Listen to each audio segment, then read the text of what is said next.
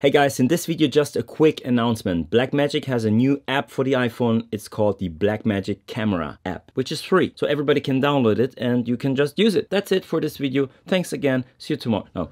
Okay, some couple of words. This is an app where you can do all of the different settings of a professional camera. So if you have the app open here, here on top you will see I can change even the white balance. Usually it's automatic. I can disable automatic and change whatever setting I want. When do you use something like that? Let's say you are on a production or you shoot for a client and you have a specific ad that you want to create and you use different types of cameras. My problem in the past was when I used my camera, my Canon for example, and my GoPro and my iPhone, you could tell in the editing which camera was which because they didn't even have the same white balance. Now you can do this and say, okay, for that one shoot, for that movie, I go with the white balance of 5350 Kelvin. Perfectly. Now all cameras have the same value because I can do this with my Canon as well. And then on editing, when you put this into your DaVinci Resolve, for example, it will match.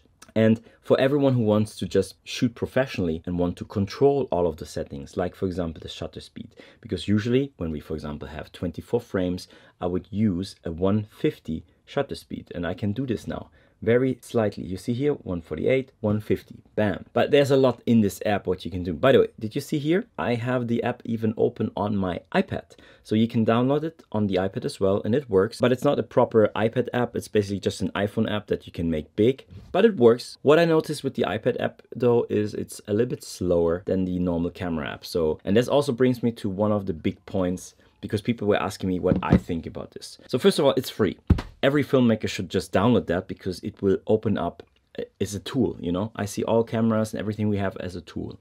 If you are in the situation you want to change the white balance even from your iphone now you can do or the shutter or whatever right? But here's my sense. First of all most of the people who watch this channel are beginners. And even myself sometimes i just shoot something because it's important to get the information done. And so the iphone camera is very good for just capturing like day brightness or even in low light situations, it works.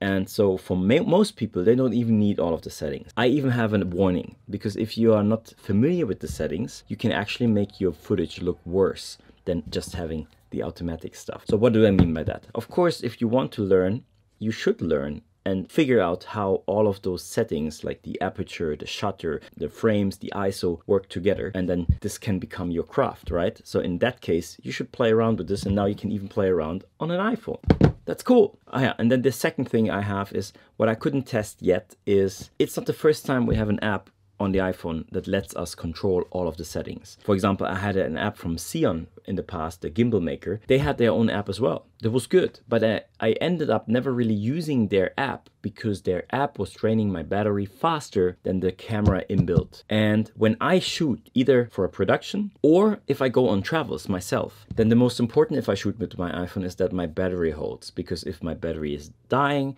and you know that if you shoot slow motion, whatever, then you have the problem that your battery is draining faster. So I can't have it that an app drains my battery even 20, 30% faster. So this is my biggest. I'm not saying that this will happen with the Blackmagic app, but because there's so much into it, you can even load LUTs and stuff like that. It will probably drain faster. How much faster? You should make a field test but this was one of the big problems I had in the past. And then I just put went to the standard app because it was just reliable, fast, and I got the shot that I wanted. Because sometimes, even filmmaking, if you have time, you make a shot, you prepare everything, then perfect then you can use a Blackmagic app. But sometimes you just have to shoot something fast because you have a second. Oh, I have to take the camera and out and, and then for those cases, the normal camera app will be the best. So am I ranting about this app? No, not at all.